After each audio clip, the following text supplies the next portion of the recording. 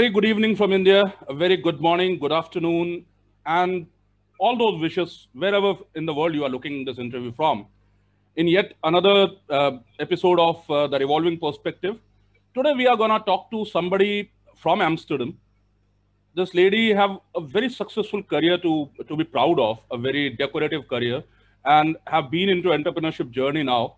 So obviously, uh, we all are looking forward to learn from her as to what her takeaways from this entrepreneurship journey are, what, what were the challenges that she faced or how she have overcome them, what are the learnings that a couple of uh, uh, leaves from her life, if she can throw us upon to us to learn something from, and then it's going to be a fun, that's for sure. So ladies and gentlemen, uh, let me welcome Joanne first uh, on your screen. Joanne, a very good evening from India and welcome to the Revolving Perspective. It has been a pleasure to have you here. Thank you, Gunjan. Nice Thank to see you. you. Before I start, Joanne, a couple, a small introduction of yours so that our audience know whom they are uh, witnessing and whom they are watching it out here. Ladies and gentlemen, there are only few in the world who pick up the traits of their professional career right in the childhood. A lot depends on the atmosphere in the early age to enable that. Daughter of a hotel management uh, hotel manager picking up the same industry sector and you know the chances of uh, her being successful and her putting her best into the uh, profession increases multifold. Having worked in the hospitality industry in countries like us and uk and handling luxury properties the journey took joanne to a largest wholesale tour operator of the world. Then comes a moment in all of our lives which really pushes us to do something which we love the most. And similar was similar would have been a moment in joanne's life which we'll get to understand from her but that was the time when Joanne really decided to start reviews for you. Now, what reviews for you is obviously we'll uh, hear it from the horse's mouth here. So I don't want to take away that opportunity from Joanne to explain that to you. But identifying the gaps and understanding our own ability to fill those gaps in the marketplace is what the first sign of a successful entrepreneur should be. And believe me, that is where the Joanne started from. This is the this was the moment which came to her mind, and he entered into this world which we all call a cutthroat competitive world. But then we will also understand from her how she have taken it up. So Joanne, a very warm welcome to you once again. And let me start this question right from what I was just uh, telling my audiences in terms of, uh, you know, what all you did to come down to here.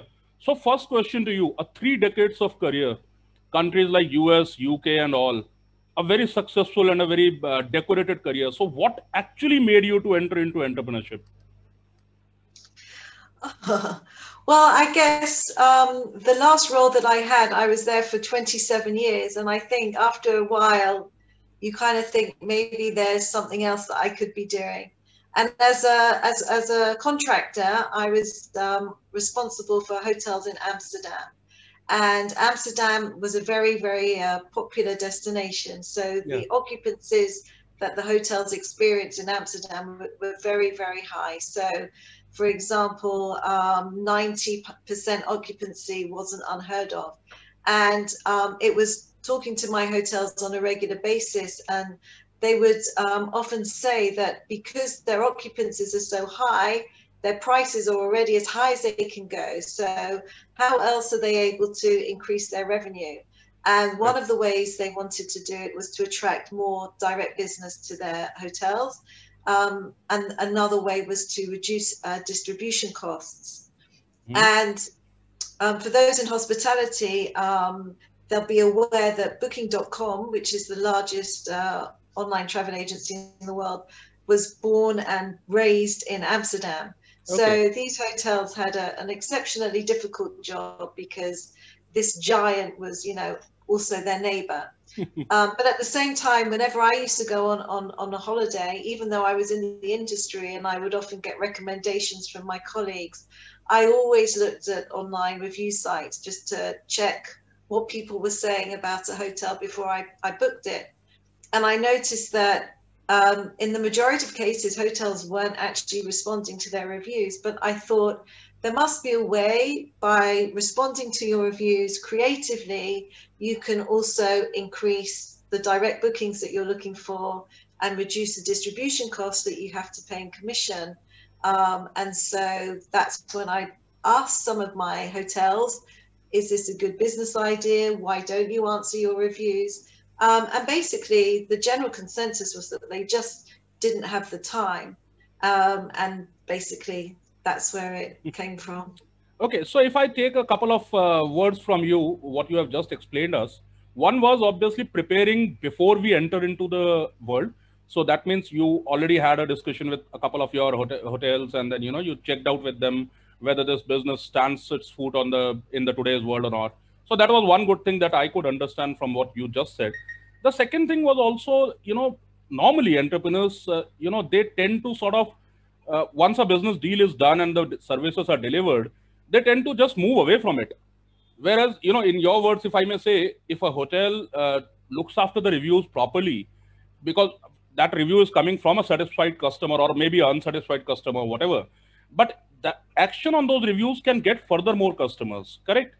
So, yeah, what, it's yeah, it's how you respond to the reviews is very important. So absolutely. um, it's it's it's uh, it takes if you're going to, for me a job worth doing is worth doing well absolutely.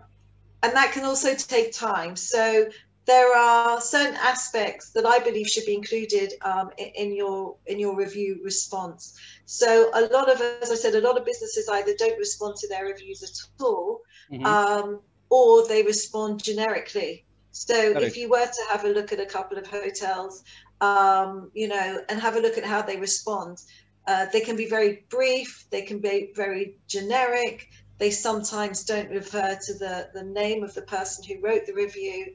Um, and also, when you do look at some luxury properties and you see, you know, how they respond or if they respond, it's basically um, it, it's letting them down. It's they, they build up a brand um, and yet when they respond to their reviews they're, they're kind of damaging that brand. And i also say that you know um, customer exp- sorry customer service shouldn't end just when the guest checks out. Absolutely. um, you know they, they go home they they post a review. Um, and while they were in the property it was you know everything they wanted they could have. The service was impeccable. So why does that stop once they've left the building You're right. So, if I may take this uh, a bit forward, you know, it's not only true with uh, your type of other industry as such. It's true with uh, almost every business today. A customer who is who, with whom you have checked out in your uh, terms, you know, that customer is uh, a, a liv- living testimonial for your business.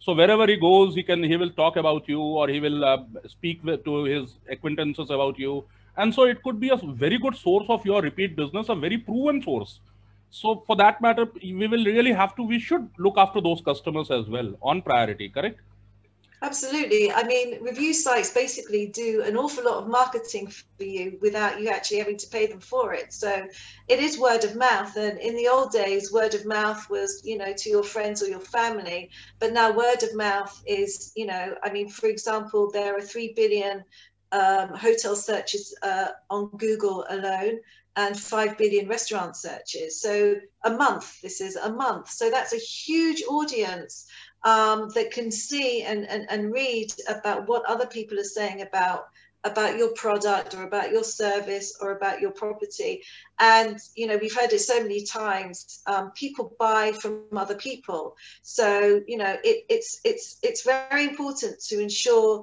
that the product and the service that they're getting is is, is you know is great um, but it's also very important to um, engage with your guests and, and try and build customer loyalty by responding uh, to your reviews. But it's also very important that you actually read and monitor the reviews because if people have the same um, negative feedback, then it would you know it would serve you well to to fix that.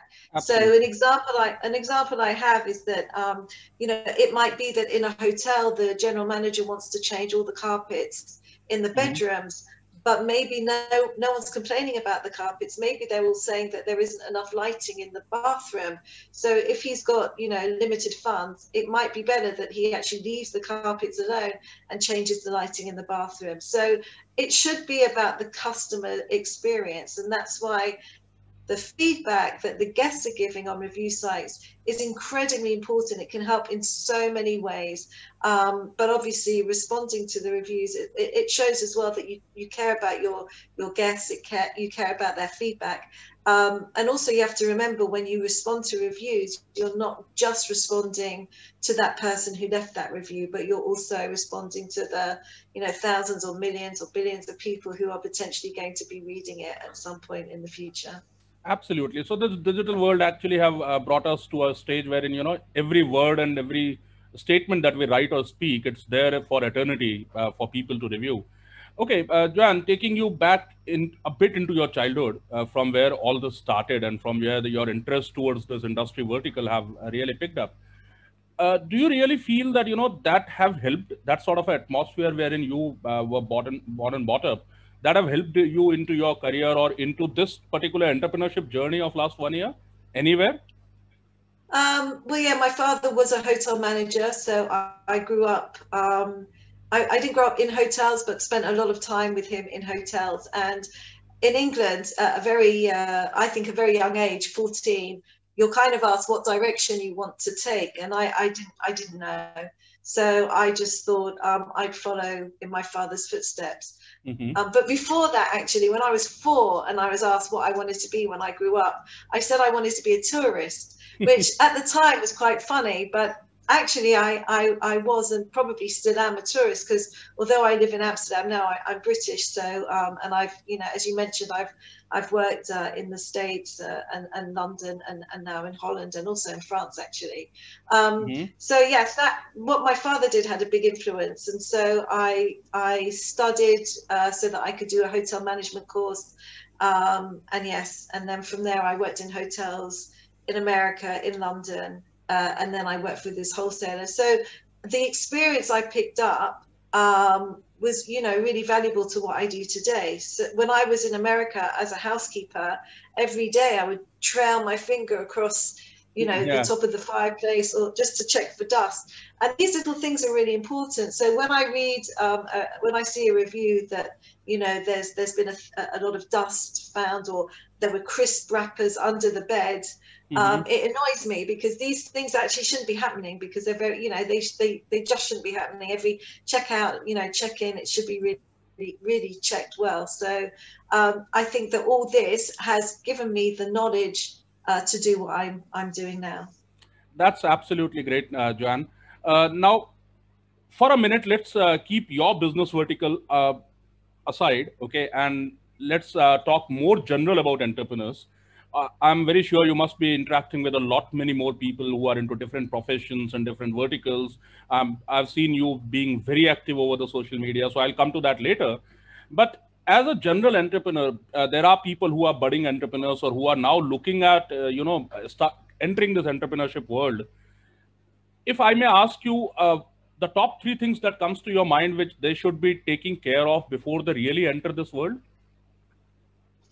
Well, that's tricky. Okay, well, um, obviously you have to do your market research to make sure that there's a demand for whatever it is that you're planning on uh, selling or offering. Correct. Um, wow. Um, I was very fortunate that I do have um, backup. Like I, I, have a partner, so Correct. if it if it was to go all pear shaped, then um, but that's not really something that a budding entrepreneur can necessarily rely on. Um, a lot of planning is involved. So, for yes, example, with myself, you know, I, I, was jumping in with both feet, but actually, what this coronavirus time has given me is an awful lot of time to to research and really get to know exactly what I'm I'm, I'm selling.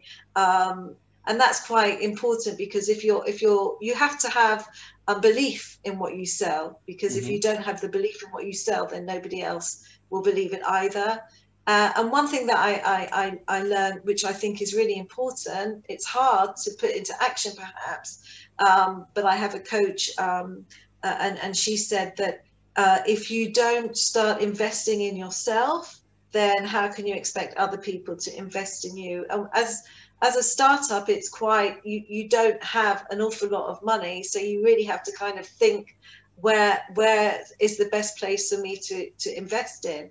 Um, and that's a difficult one that's a really difficult one but you have to you know you have to realize that if you're not willing to invest in certain elements then how on earth are your potential clients or customers going to invest in you so i hope that answers your question yeah you, you perfectly one. answered actually uh, Okay, now uh, if that was a tricky one, I'll uh, get you to your domain expertise again back. Okay, and let's talk about social media. Now you have you you are very active out there on LinkedIn. Okay, now if I may ask you, uh, in in many countries even now, social media have not picked up or is is picking up rather.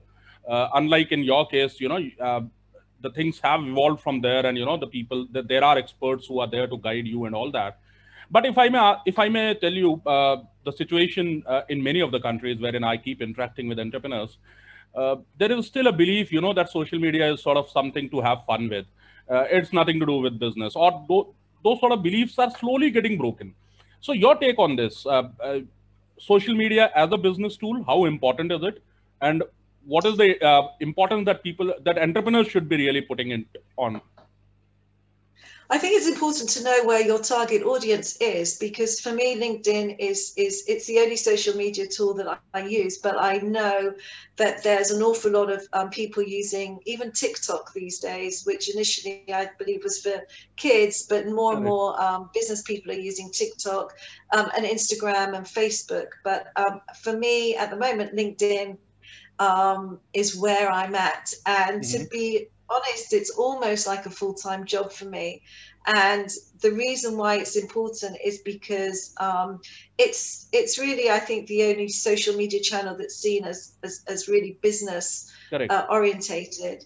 Um, and you know, it's very important that you are seen and that you nurture your audience and that you give them uh, information that um, they can learn from because they need to again be people buy from people. And when i was contracting and i could actually go out and physically meet people um, i would say maybe 80 85% of my negotiations were were all to do with how are you? How are the kids? And like mm-hmm. maybe the last 15% was really about business.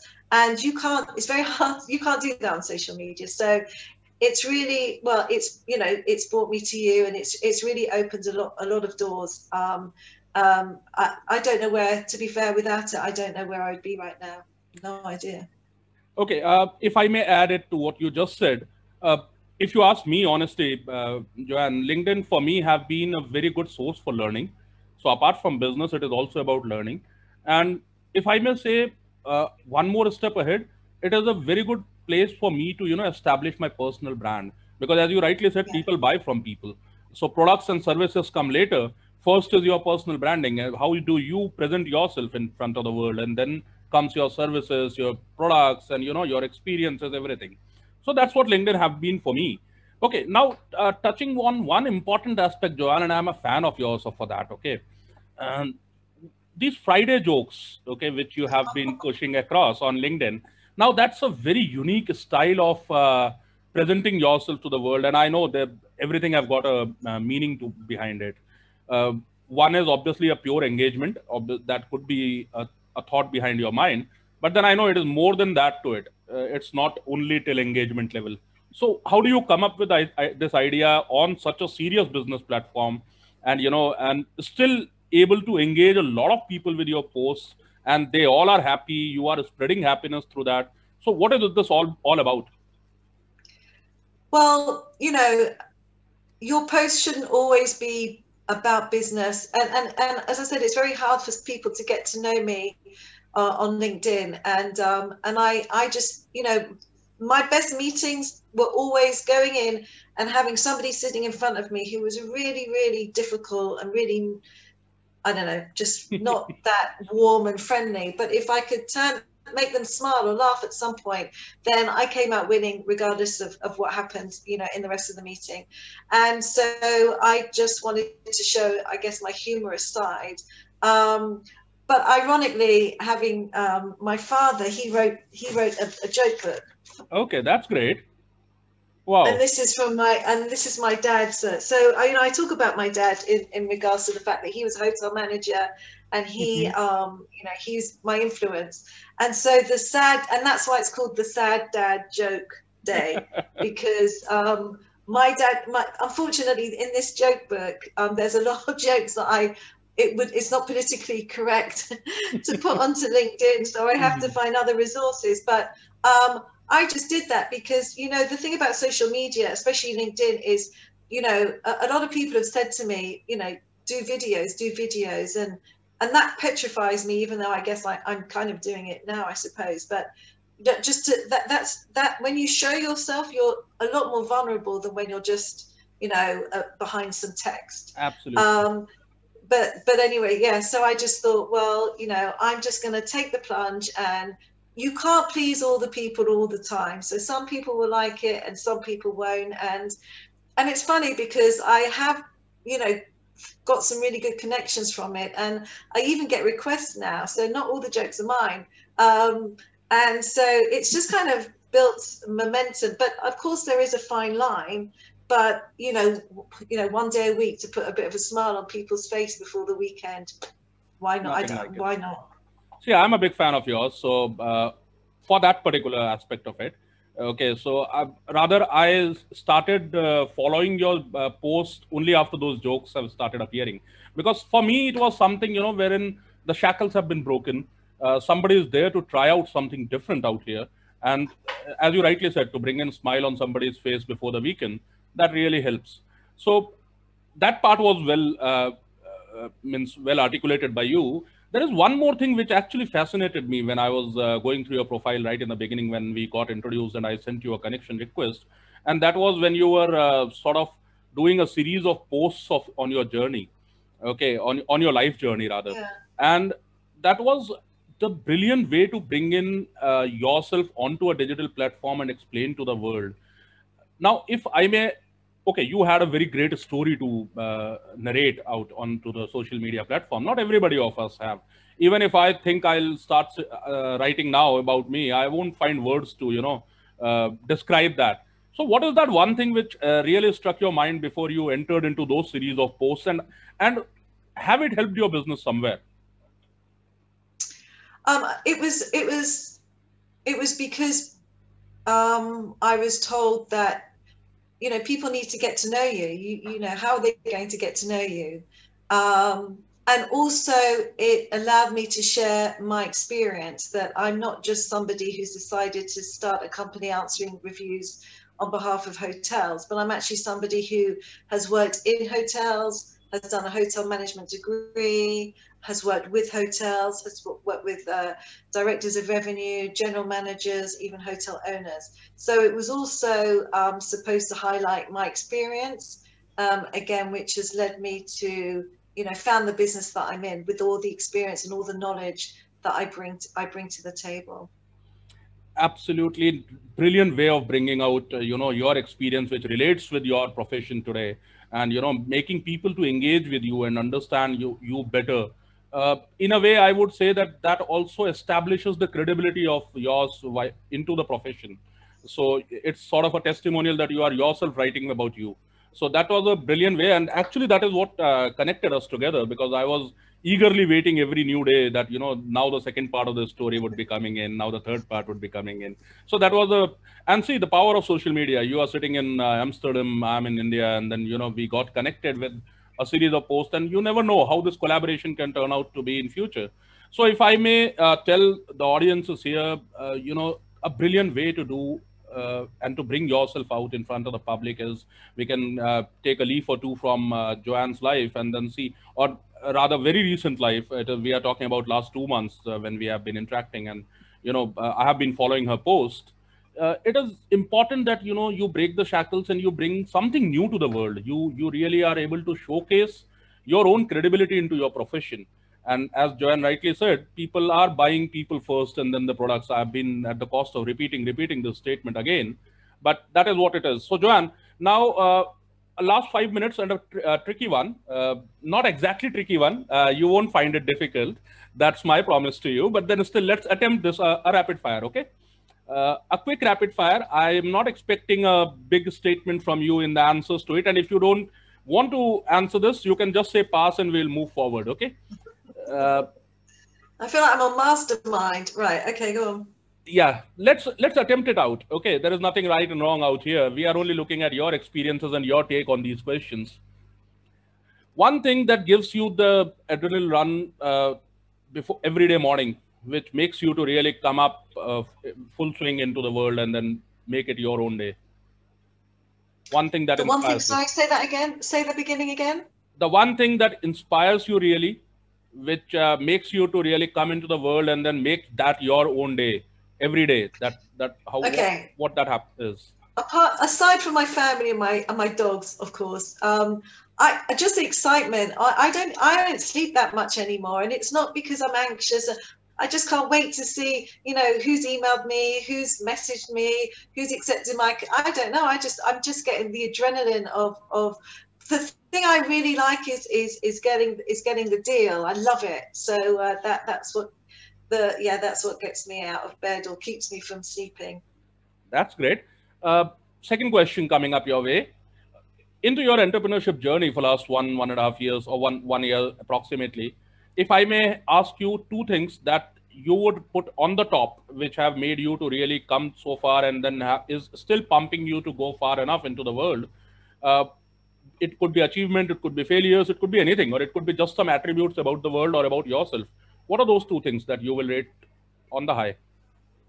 um, the, the people who are um, when when I'm presenting my business and what I do, um, it's just kind of the um, um, the reception that I'm getting from from businesses now who a can't believe it hasn't been done before, um, and um, when I do an analysis of uh, I do an analysis uh, a free analysis for for the hotel so they can actually see you know how they're currently responding to their reviews, and um, they're quite shocked.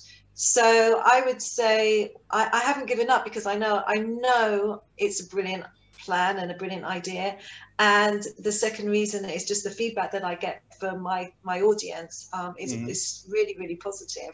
Um, Corona has obviously put everything uh, a little bit on on a slower pace, um, but I'm really really really excited. I just you know I'm really excited. When I speak to you in in this time next year, oh, it'll be great. Absolutely, you will be, and we all are there with you for that.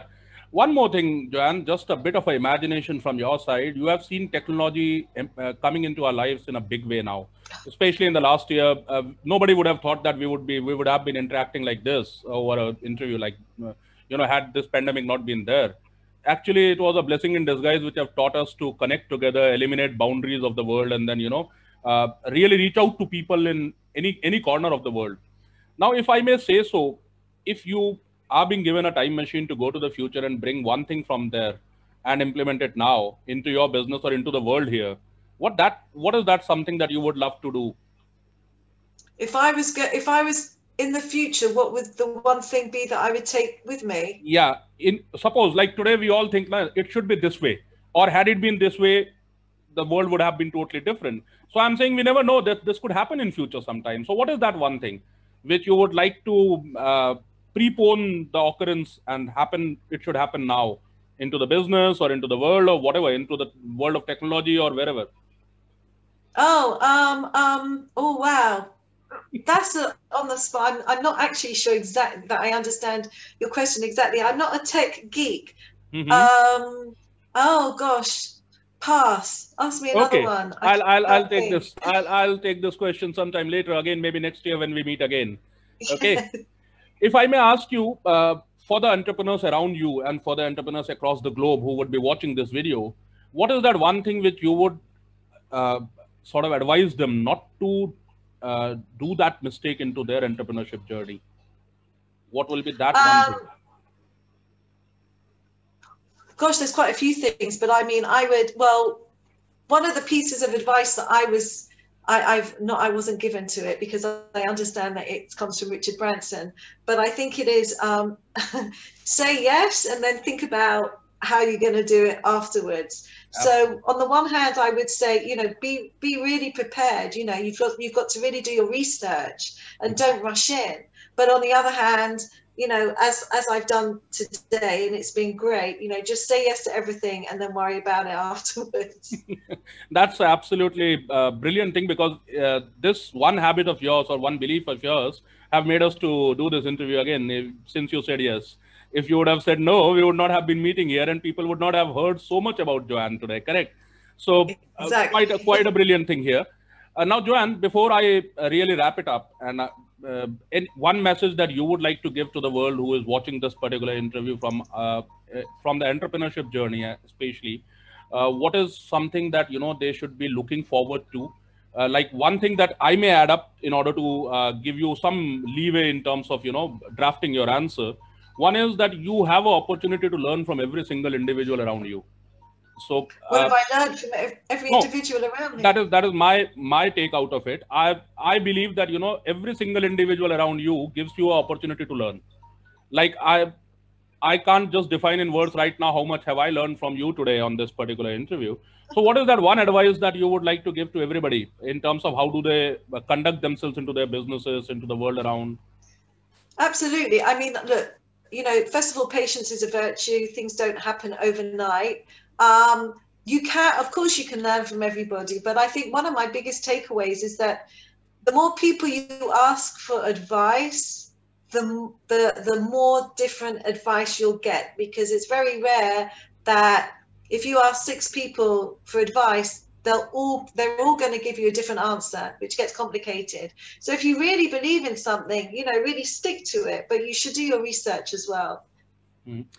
Okay. Uh, taking it to an end here, uh, a couple of things for uh, the audiences here to be summarized. And I think if you ask me today, uh, the one biggest thing that I'll be taking over from here is before you really enter into an entrepreneurship world, first thing is you prepare yourself, plan it, execute it to the best of the honesty that, that you have, and establish your credibility in the world before before you reach out to your target audiences.